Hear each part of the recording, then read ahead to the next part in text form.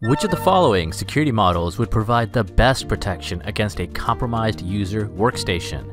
Is it choice A, role-based access control, which does a fine job of limiting a certain company role to only the rights and privileges specific to that role? Or is it choice B, the Bell LaPadula model, which granularly limits a user workstation's access rights and permissions, meaning they only have the absolutely least amount of privileges on their operating system and it cannot be changed? Or is it choice C, discretionary access control, which provides a user freestanding permission to assign as many rights and privileges to as many files and objects of their choosing?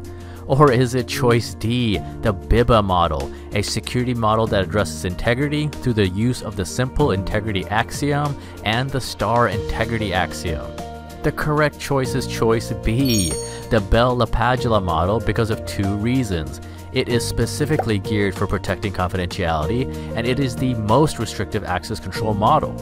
The goal of the practice question was to equate protecting confidentiality with the most stringent access control. The idea being that even if a workstation does get compromised, the attacker is limited in their capacity on what they can do on the system. The CISSP exam concepts to apply here are least privilege and access control. Good luck on your exam, you can do this.